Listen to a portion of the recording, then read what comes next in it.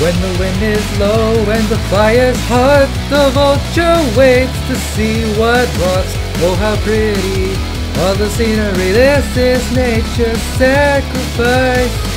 When the air blows through with a brisk attack, the reptile tail ripped from its back. When the sun sets, we will not forget the red sun over here.